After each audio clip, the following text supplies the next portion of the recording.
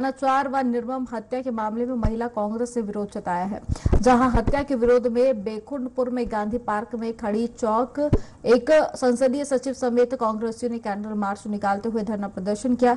तो वहीं चिरमिरी में कांग्रेसियों ने शनिचरी चौक में मोमबत्ती जलाकर पीड़िता को अपनी श्रद्धांजलि अर्पित की। हत्यारों को। मनीषा के हत्यारों को।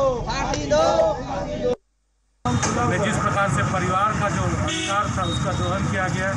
लड़की का जिसका बलात्कार हुआ, हत्या हुई, उसका दाह संस्कार तक नहीं करने दिया गया।